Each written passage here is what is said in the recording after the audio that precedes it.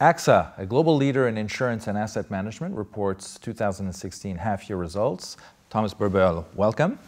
Thank you very much, Adrian. Very nice to be with you today. You are the incoming CEO of AXA. What are the highlights of these first half results? So the results are very resilient despite the headwinds that we had. If you remember, the uh, environment was not easy. Interest rates have gone down after Brexit. Markets have been more volatile and we have far more natural catastrophes than last year. However, we have really produced very good results. Underlying earnings of 3.1 billion, a net income increase of 4%, and a solvency of 197, well within our target range. If we look at the different businesses, you see that they're very well advanced and well balanced. On the life and savings side, given the difficult interest rate environment, we have really moved our growth on health and protection and capital-light products. On the P&C side, we have shown a very nice growth, 3% in commercial lines and 4% on the retail lines. In asset management, we have continued our momentum, 19 billion of net flows. This shows in general that our strategy is the right one and we can produce good results in a difficult environment. So the strategy we have launched on the 21st of June is suited for this environment and we will have success. You'll become the new CEO as of September 1st. How do you want to drive the group forward in this adverse environment? On the 21st of June, we have released a clear strategy that focuses on what's in our hands. Because in a very difficult capital market environment, we really need to see how can we focus to deliver better earnings and how can we transform the group at the same time.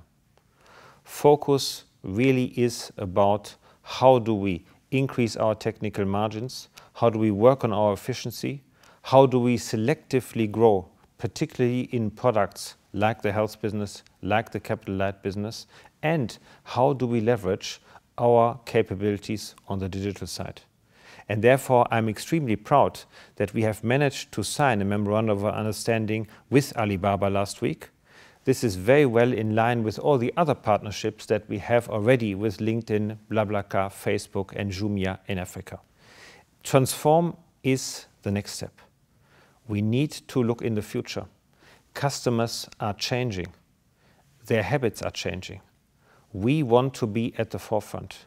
We want to deliver a new customer experience and we want to be very close to the best practice example in digital. That means that we need to change our relationship to our customer. We need to become from a payer to a partner. This means that we need to use data also more in the interest of the customer, obviously highly aligned to our ethics standards in data. It is very important that we go this journey because this will make us the winner of tomorrow. Let's not forget, in everything we do, we need to put the customer first. What does this transformation mean for the teams of AXA? It is an important time for the team. And what I would say to the teams is this transformation is a huge opportunity and we can only do this together. In the last couple of months, I had the privilege of visiting many AXA entities. And by talking to the teams, I saw that the answers are there. Together we will make it. Transformation is a big opportunity for all of us. We can learn new things because digital will demand new capabilities and it will enable us to spend more time to serve our customers. Digital and the whole transformation will also have a big impact on society and our teams will feel that impact. We have decided to get out of coal-related investment. We have also decided to stay away from tobacco-related investment. Two big decisions that will impact the environment and the health. I'm extremely proud to be part of this transformation of AXA into the future. And I'm so happy to see that we help every day our customer, that we really give everything to do the best for our customers. And I would really like to thank all of our teams that they dedicate all of their time, all of their energy to our customers every day in and out. Thank you. Thomas Buberl, incoming CEO of AXA, thank you very much. Thank you, Adrian.